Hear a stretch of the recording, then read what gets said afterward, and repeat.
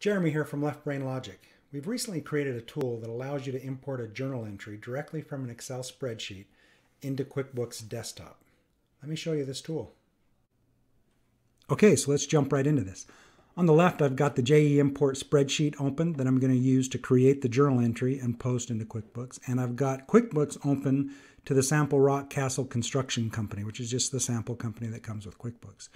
Um, in the spreadsheet, I've got this JE workbook that I've created just a simple uh, journal entry in. I've got payroll expenses, some liabilities, and then a credit to checking. Uh, the date on this journal entry is 12-1, and I've used it, I'm using a journal entry number of payroll. So this journal entry is actually just ready to post. Uh, in QuickBooks, I've actually opened up a quick report on the payroll accounts just so that you can see this journal entry pop over into QuickBooks. So this is ready to go. All I have to do is hit post journal entry. Boom. The journal entry is posted. It's ready to go. You'll get a note saying that the that it was successfully posted. Um, if I double click on this journal entry, uh, you'll see all the amounts, of course, match up with the memos and the, the entry number on there. It's just as if you had typed it directly into, into QuickBooks. Okay, so let's walk around this spreadsheet just a little bit more. So I have in this workbook, uh, there's three required fields, and this is the same as, in, as if you were to put the journal entry directly into QuickBooks. You've got your date, you've got an account, and you've got an amount. Those fields must be completed in order to post a journal entry. Uh, the other thing to note is you can choose to enter classes. Those are here. You can select those and, and uh, add that to your journal entry. When you're posting to an accounts payable or to an accounts receivable account, you can select the customer uh, in here and, and, and, post directly to that customer's account, um, which is actually required if you use a uh, accounts payable or accounts receivable account. Um, for the amount filled, positives are debits, negatives are credits. They must, of course, add up to zero. Um, this field right here, this JE balance, all that's actually doing is just a sum on all of these amounts. So when all of these, I mean, it's just going to tell you the, the sum of what's in there. So if, for instance, we didn't total out yet and it didn't net zero, it's going to turn red and just give you a flag saying, hey, there's your journal entry isn't quite ready to post. You need to have it balanced. So um, when you get it all in there, it zeroes out and turns green, just as a flag saying, okay, you're good to go. Um, these other fields, class, memo, um, customer name, if you're not going to accounts receivable or accounts payable, these fields are all, they're optional. They don't have to be completed.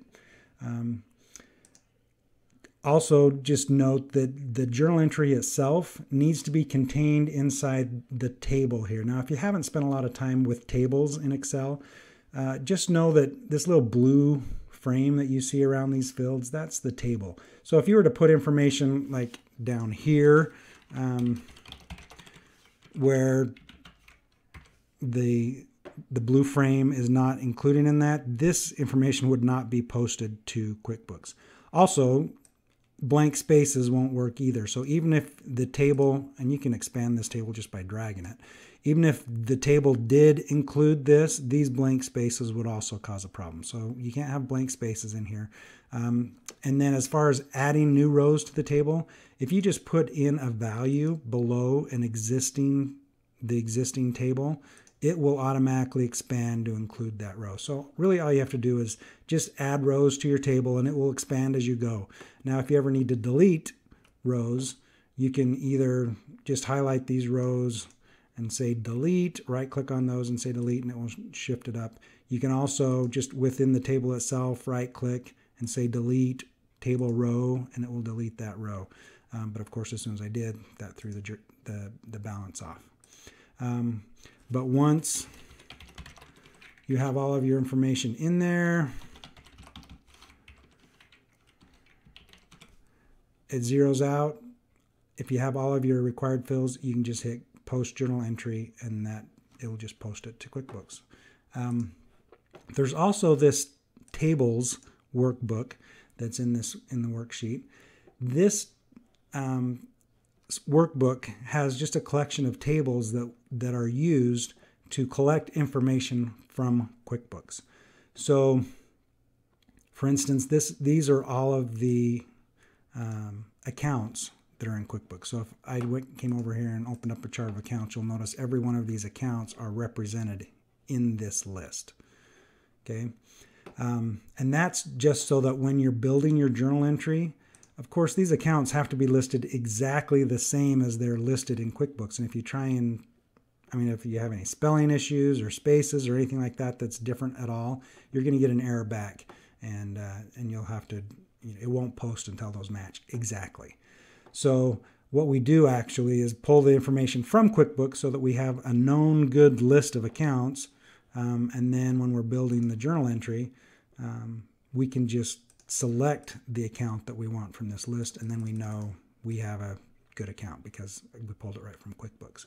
Um, it also includes the vendor customer list. So if you needed to select a vendor customer, you can just drop it down and again select them from the list so that you know you have it spelled exactly right. Um, and then the other table that's in there are just the classes. So again, if you do need to put in classes, you can do a drop down and select it right from the list. So to you can update these tables as often as you would like. If I were to add a new account into QuickBooks, all I'd have to do is come into here and select update tables. It's going to reach out to QuickBooks, grab all those, refresh the tables, and it's good to go again. So that's all it takes to update that. Also, you can use this same spreadsheet with multiple companies. All you have to do is log out of this company, log back into your new company, say update tables, and suddenly you've got a good list of, of uh, accounts for that um, company, and you can go build a new journal entry for that and, and post it to that new company. Uh, the spreadsheet is built to connect to whichever company you have open. So you can change companies and post to whichever one you have open that also means that you do need to have QuickBooks open to a particular company that you want to post to. So keep that in mind. So just a couple examples of how we're using this JE import spreadsheet. Um, every month I will use it to create my accruals. What I've done is I've built out the journal entry with all my accrual entries, uh, posted it to QuickBooks, and then I'll save that copy. Uh, the following month, I'll open up the previous month's accruals, make the few adjustments that I need to make, and then I'll save that as a second as another copy of that spreadsheet, and then I'll post that to um, to QuickBooks. And so now all I'm doing is pulling up a journal entry, making a few adjustments every month, pushing that to QuickBooks, and I'm off and running. Uh, we also use it to post um, payroll transactions, which can be a pretty extensive journal entry. Um, one area where we're using it a lot is actually for payroll. We have some insurance journal entries that we need to post.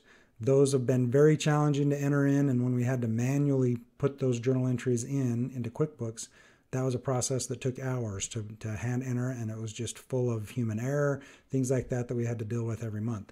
Now that it's in the JE import spreadsheet, it's very easy to copy those values right out of the, the email that we get from the insurance company, paste them right into the Excel um, we do some calculations on some of the fields, and then we can post it directly over into QuickBooks. So the other thing I should mention is there are just a couple requirements for this uh, program to work. Uh, those requirements are listed on the info sheet in here. First of all, you do need to be running QuickBooks Desktop 2002 or later, so it does not need to be a new version of QuickBooks by any means, but it does need to be running on Windows OS. And then Microsoft Excel needs to be version 2013 or later. Uh, and it does also need to be a 32-bit program. That's just because the, the system that Intuit wrote to connect to QuickBooks is a 32-bit program. And so in order to talk to that program, Excel needs to be a 32-bit program. Pretty straightforward. There's really not a lot of requirements. So that's the JE entry worksheet. Very simple to create journal entries in Excel, push them quickly over into QuickBooks. If you have any questions, please reach out to us on our website at leftbrainlogic.com.